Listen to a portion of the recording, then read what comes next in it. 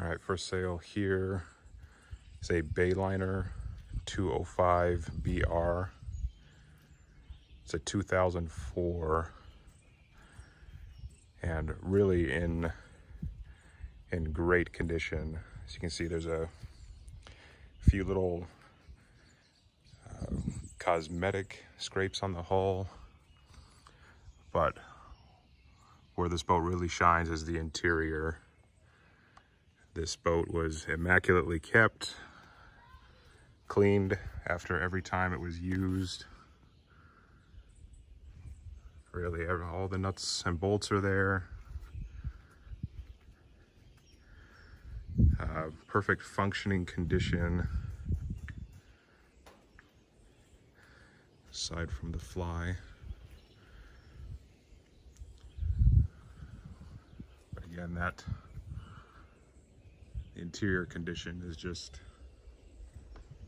exactly what you'd want it to be in a boat this age.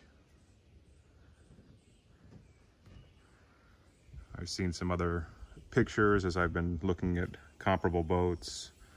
2003 4 5 6 the uh, interiors some of the seams have started to rip. You've got some UV damage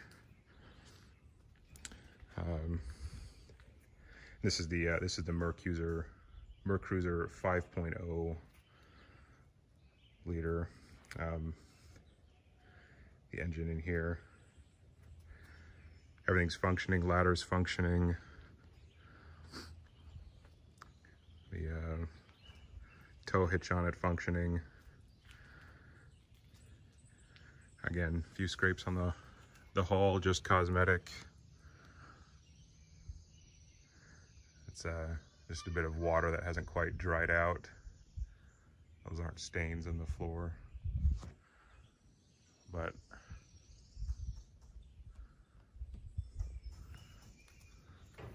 really functionally, cosmetically, in fantastic condition. Some of those other boats I said I was looking at, just you could start to see some of the signs of age, you know, getting to be 20 years old. Uh, th this one just has been garaged and covered. Uh, does come with a cover. Uh, trailer here, really in great condition. Few little rust spots, but again, functionally everything is is there. Everything is working. It's the uh, single axle here.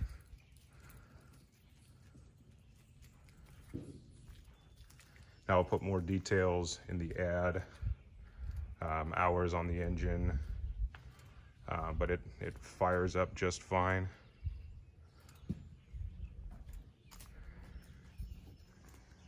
But, uh, so yeah, that's the uh, Bayliner 205